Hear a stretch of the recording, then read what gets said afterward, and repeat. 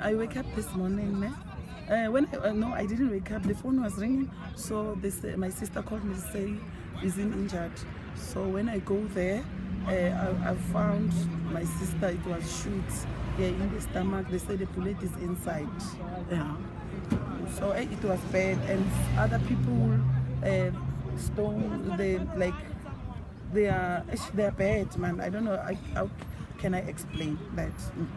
And how, how did this make you feel? You know, I'm, I'm feeling bad. I was crying. I was driving and crying until here.